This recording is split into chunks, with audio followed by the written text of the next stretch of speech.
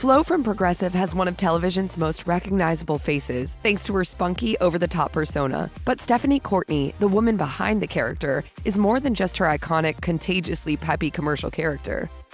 Stephanie Courtney was born and raised in New York in 1970. Courtney was the youngest of three children, and she and her family lived 30 miles outside of Manhattan. Growing up, she was heavily influenced by her mother, who was a singer. Her mom's love of the arts really helped shape Courtney's love for all things musical theater. In 2015, she told Cosmopolitan From an early age, I was influenced by the greats. My mom was a big fan of musicals, and my dad loved film noir and comedies. These amazing movies from the 30s to the 60s were always playing in our house, and I had heard every Broadway recording. All throughout her school years, Courtney would audition for various musicals and plays and really enjoyed theater, according to the Washington Post. Thus, Courtney knew that she wanted to do something in the entertainment world when she got older, though her dad insisted that she go to college. Courtney obliged, though once she had the realization that she could have a career in the arts, that's exactly what she set her mind on. Fulfilling her dad's wishes, Stephanie Courtney enrolled at Binghamton University and decided to major in English. During her time in college, Courtney kept on acting, auditioning for various productions at the school, even landing a lead role in The Crucible. So she moved to the city and enrolled at the Neighborhood Playhouse School of Theater, where dozens of other well known actors studied before her. It was also around this time that Courtney started doing stand up comedy, a different way to hone her skills and work on her stage presence. While chatting with Backstage, Courtney recalled a point in time when her manager suggested she move to Los Angeles Angeles, and so she did. Continuing on her journey to fame, Courtney joined the Groundlings and kept on doing comedy. When her manager suggested she start looking into booking commercials, she decided to give it a go. She told Backstage, She worked hard to get me a commercial agent. I booked a really good one early on. That one just happened to be with a major beer brand. And Stephanie Courtney had a lot to celebrate when her very first national commercial for Bud Light ran during the Super Bowl in 1999. Paper or plastic? Paper.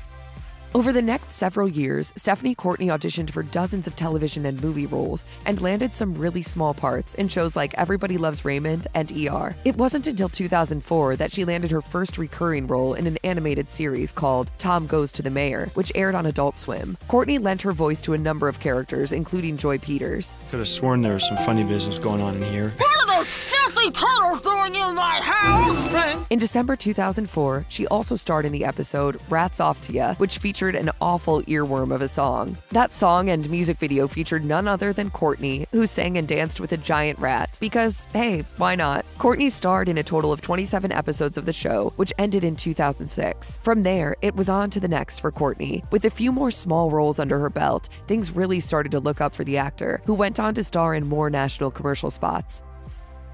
I met a man on the bus today. I shook his hand. You'll never see his family again. Years after having a non speaking role in the Bud Light commercial, Stephanie Courtney landed a bigger role, this time in an ad for Skittles. Courtney was one of three people in the television spot, and this time, she even got to speak. Hey, Tim, show Joel how everything you touch turns into Skittles. Courtney has also appeared in ads for companies like McDonald's, Glade, and General Mills, and was almost cast as Toyota Jan for the carmaker's ads, but the role was given to Laurel Coppock. However, Courtney's biggest break in her career would come in 2007 when she landed her most recognizable role as Flo in the Progressive commercials.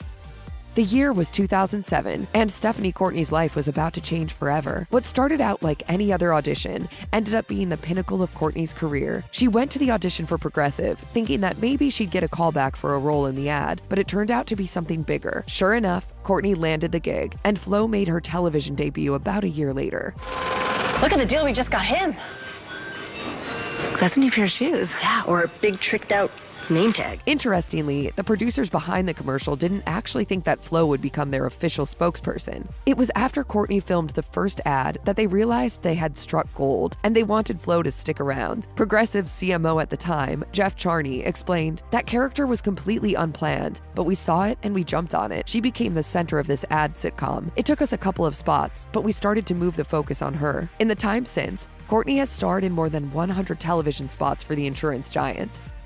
Stephanie Courtney is a fairly private person with no active official public facing social media account to be found. However, she has previously shared a bit about her personal life. While working with the Groundlings in Los Angeles long before she joined forces with Progressive, Courtney met her now husband, Scott Kolanach, who worked in lighting. In 2009, she told People, Every crazy old lady character I ever walked out as on that stage had beautiful, peachy gem lighting because he liked me. The two started talking and dating, and they eventually fell in love. Courtney and Kolanach also have one child together, though Courtney admits that they waited a bit before starting a family, telling Cosmopolitan, I booked Flo when I was just about to turn 38. I got married at 35. I had my kid at 40. I'm a late bloomer, but it tastes just as sweet when it's late. I definitely was a calmer person getting these things later in life.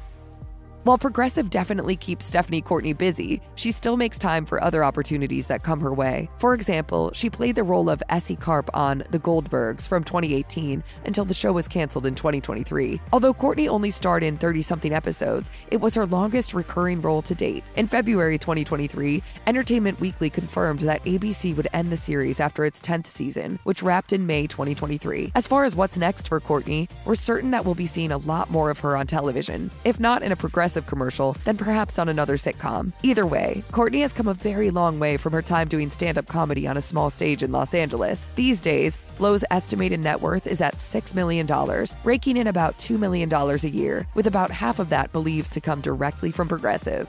Wow. Wow, I know. I say it louder.